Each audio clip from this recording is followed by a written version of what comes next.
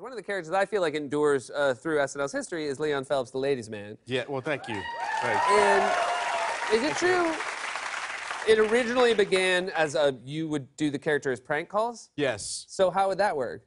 I would call like a pizza place or a television station or radio station. A television station like during a broadcast? Yeah, like a like a uh, public access, you know. So be, they don't have like security.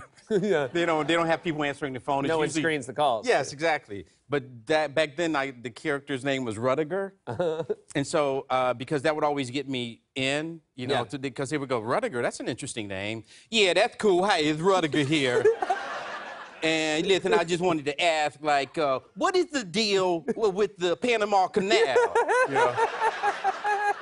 And I would have these like really, I would write out questions and like points to make so I didn't get thrown off, and I would Right. have a really intelligent conversation. So it was just about the voice. It wasn't about Yes. being crazy. Yes. That's just about the fantastic. And it was just fun for me to do. And like, I would do it during the summer when I wasn't working at SNL. Oh, this was during SNL. This wasn't Yes. like growing up. no, no. Okay. No. I was a grown man with a job. with a job, with a well-paying job. Yes. And you spent your summers calling in TV shows. Yeah. All my other friends, like, you know, Sandler and those guys were like out making movies during the summer. I was like doing prank phone calls. Would you um like? Do you have any uh, like record of it? Like when you call in a TV show? Yes, there. I had. I did say I saved one videotape. Videotape. That's how long Yeah. ago it was. But um, I was calling in. There was some.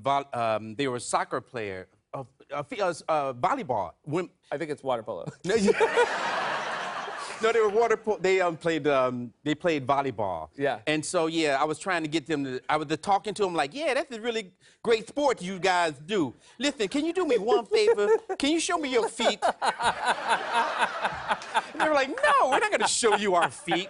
Okay, yeah, that's cool. So, anyways, where you guys playing later?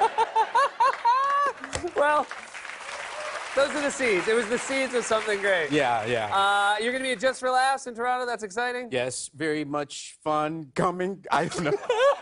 Well, uh, I got to do it. Okay. No, it's a really fun. Uh, it's a festival. I've been doing stand up for a while, so yeah. Great. All right. Well, thank it. you so much for being here. Always Thanks such a pleasure to see you. buddy. Tim Meadows.